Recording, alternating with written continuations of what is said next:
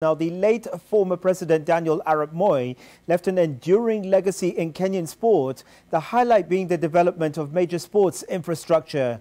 This led to Kenya hosting its most high-profile sports event to date, the All Africa Games. From Nyayo having his fimbo snatched by Muhammad Ali to his lasting effect on the Kenyan Premier League, veteran journalist Roy Gachuhi, who covered Moi in sports for two decades, shares more anecdotes on the late president.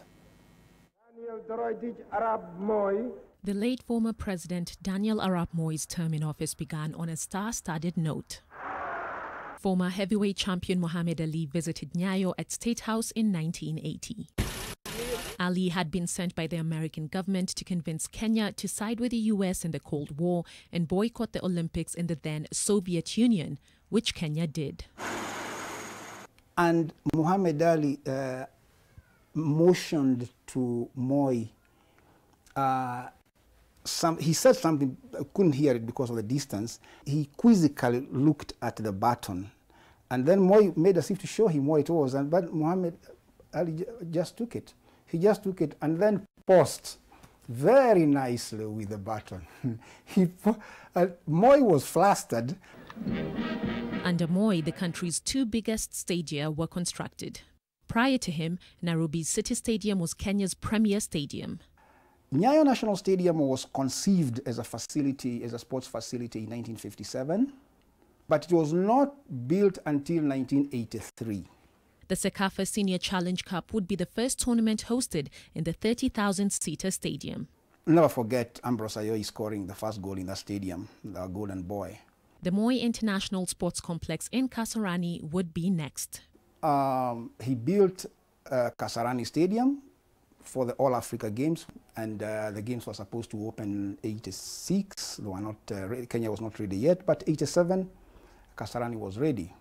Moi milked all the publicity he possibly could, anything and everything. He attended volleyball, judo, boxing, football, athletics arguably one of the most strategic Kenyan politicians in history, Nyayo's political hand was also felt in the local football league. Moi held a leaders' conference in the Kenya Institute of Administration, which is today the Kenya School of Government. That meeting resolved that all names, all, organ, all clubs with tribal names must shed them and put on names that uh, ref, uh, reflect a national outlook, as he called it. Consequently, Abaluhya Football Club became AFC, Maragoli United became Imara, and Gema FC became Transcom FC. Gor Mahia controversially refused a name change, causing uproar. Then one day, Moi came from Nigeria. He, was, he had gone for a state visit in Nigeria. And upon landing at the airport, he said, ah, Gor Mahia can keep their name. Yeah, they should not change. Kenya was a different place. It was Nyayo everywhere. Nyayo, Nyayo, Nyayo. You know, just chanting Nyayo, thanking him very much, as if he's not the one who had started that fire.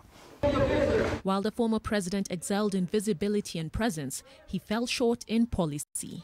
Coupled with the problem of corruption, the effect of government has not been felt, has not been felt by sports people. Former President Moi also saw his sports fandom extend to his children, with his eldest late son, Jonathan, a rally driver. The late Moi drew mixed reactions, but his effect on the Kenyan sports scene is undeniable. He'll definitely be remembered well by uh, the sports fraternity in this country.